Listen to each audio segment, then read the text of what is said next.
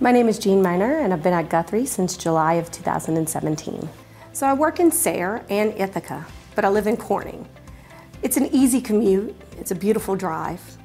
We love living up here. There's so much to do outdoors. We like to fish, kayak, ski, hike, uh, the waterfalls, the wineries. We're so close to so many places just by driving. We've gone to Quebec, which was about seven, eight hours, Niagara Falls. Um, I was just in Boston this past weekend. We've gone to Virginia, New York City, Hershey. All those places are really close to here.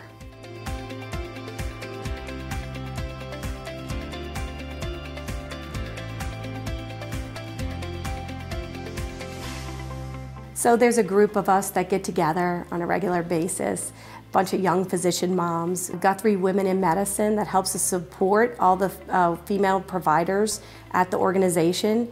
We've had events uh, up to 70 people uh, involved.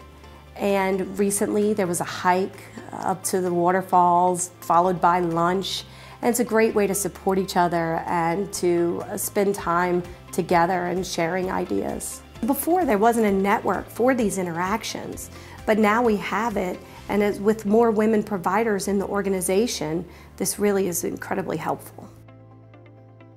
Dr. Miner embraced the growth and opportunities at Guthrie and has found it easy to call this region home. Maybe you will too.